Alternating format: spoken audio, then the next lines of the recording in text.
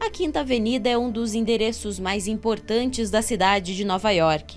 E em meio a inúmeros arranha-céus, em frente ao Rockefeller Center e à famosa estátua do Atlas, surge uma obra de arte em estilo neogótico. A grandiosidade em mármore mede 53 metros de largura por 101 de comprimento, abrigando toda a quadra entre as ruas 50 e 51 Leste, e se estende em direção ao céu por incríveis 100 metros de altura.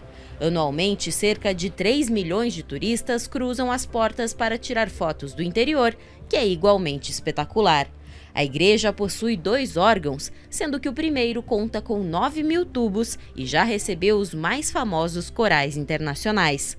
Nas laterais, capelas dedicadas a inúmeros santos, entre eles Santo Antônio, São Bernardo, São João Batista de La Salle, além de uma homenagem à devoção polonesa à Nossa Senhora Negra de Czestochowa. À direita pode-se admirar a capela de devoção à Nossa Senhora de Guadalupe, uma homenagem também ao povo latino, que está bastante presente neste espaço multicultural. Sobre isso, Monsenhor Robert Ricci, que está como reitor da catedral há 11 anos, afirma que está aqui para dar continuidade à dignidade das bênçãos católicas em meio aos turistas. Tem algo no ar que indica que estamos em um lugar especial, em um lugar sagrado, e é por isso que os sacerdotes que por aqui passam e rezam missas querem mostrar que, muito além de turistas, todos que visitam também são filhos e filhas de Deus e merecem ser acolhidos. Em uma catedral tão rica em detalhes, ele afirma que sua característica mais bela dentro do templo, na sua opinião, é a imagem de Pietà.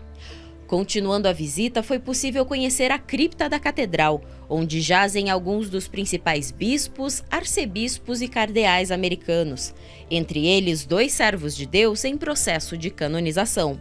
Pierre Toussaint nasceu escravo trabalhando como cabeleireiro para uma família do Haiti. Foi trazido para Nova York aos 21 anos e apenas com 41 conseguiu sua alforria. Conhecido por ser um grande filantropo, ajudou a construir a Catedral de São Patrício e foi o primeiro leigo a ter sido enterrado nesta cripta até então reservada aos clérigos. Já o contemporâneo arcebispo de Nova York, Fulton J. Sheen, foi pioneiro no ramo das comunicações, muito famoso durante as décadas de 50, 60 e 70 por ter seus próprios programas de rádio e televisão, inclusive ganhando um Emmy, considerado o Oscar da TV americana. A Catedral de São Patrício é um marco histórico para a cidade de Nova York.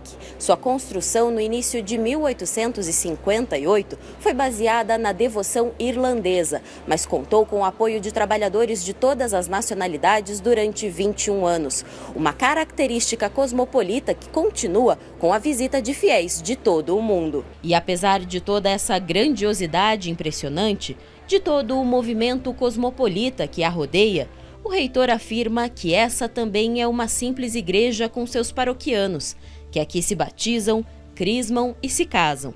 A dualidade deste grande símbolo da Igreja Católica é justamente o que o torna tão encantador.